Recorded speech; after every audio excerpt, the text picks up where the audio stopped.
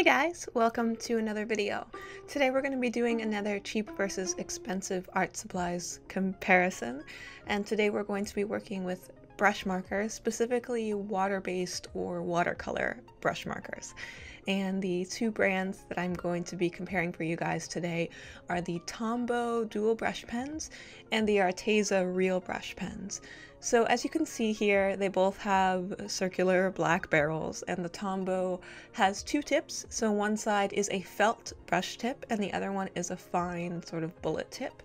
And the Arteza brush pen, as the name would imply, is a real brush pen. So it has synthetic bristles that kind of separate and kind of gives you more of that real brush experience. As far as price goes for these guys, the Tombow set that I have is the 96 color set, and that currently goes for $144 on Amazon, and that takes it to about $1.50 per marker, where the Arteza brush set of 48 colors, which is what I have, is at like $49 on Amazon, which is more than I paid for it.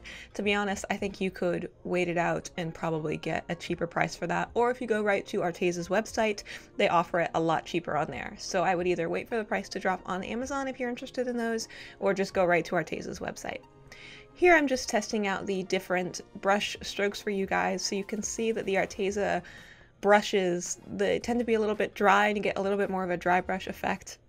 The ink doesn't flow quite as easily, but they seem to have a wider range of line width to them than the felt tip brush of the Tombows. And if you're thinking of these as a cheaper alternative to like alcohol-based markers, like Copic markers, they don't really work that way.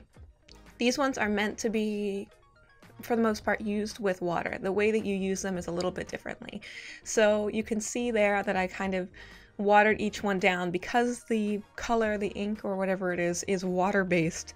They are meant to be kind of activated with water or at least blended together I know Tombow even sells like blending card that you can get so you can blend them together on like a resistant uh, paper. Like if you've ever used Yupo paper, which is like a plastic sort of paper where everything just sits wet on top.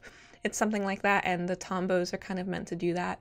So what I'm doing here is I actually did a sketch and transferred those lines onto two of the same type of watercolor paper so that I would actually be working with the same sketch here. So I wouldn't have any variance in the final product in that regard.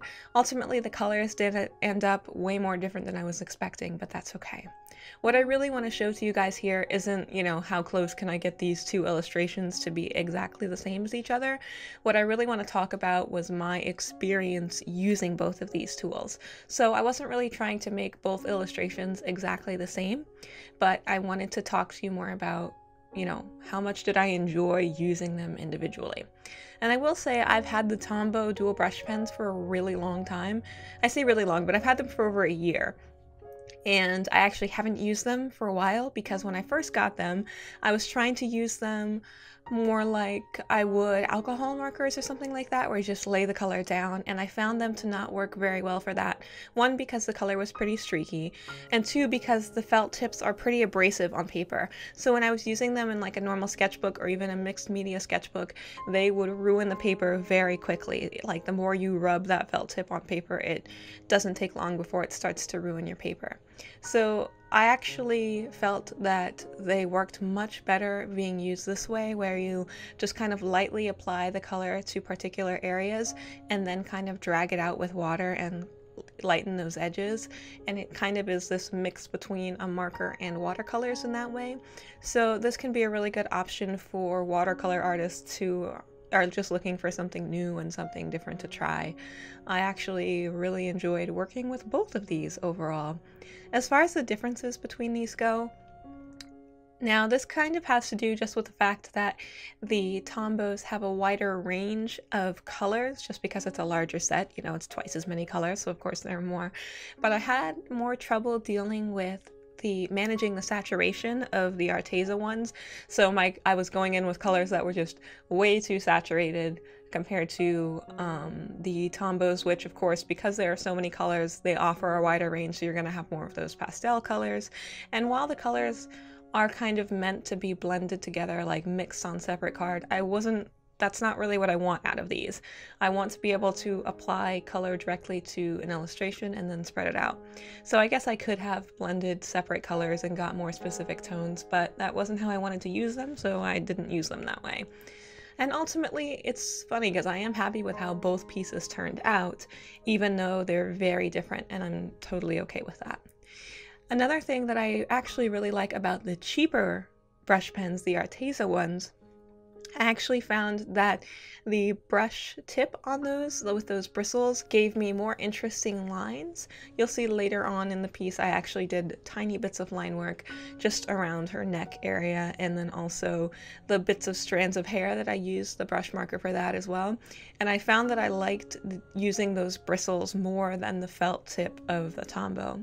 The Tombow, the more expensive one, does give you a bit more control with those lines because the felt tip is firmer, so you have to make more decisive decisions to apply or decrease your pressure, whereas with the real bristles, it's harder to control the line variance. But because I'm kind of familiar with using things like brush pens and things like that, a line width variance wasn't really an issue for me. I'm a little bit more used to working with variances and line weight. But ultimately, I would say I really liked the color range of the Tombows, which of course is just because it's a larger set, but I actually really prefer the bristles of the cheaper one. So it would, I think that if Arteza had a larger range of colors, I would just go just get the Arteza ones. And for using with this sort of technique, I really like them. But the Tombows aren't too bad. I, I enjoy them. And really with brush markers like this, especially water-based ones, oftentimes they're geared towards like people who do calligraphy or hand lettering and things like that because of those brush tips.